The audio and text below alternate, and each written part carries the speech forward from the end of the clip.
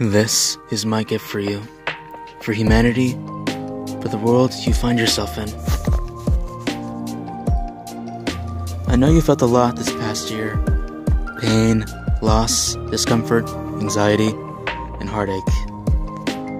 I felt it too, and no doubt I'll feel it again. But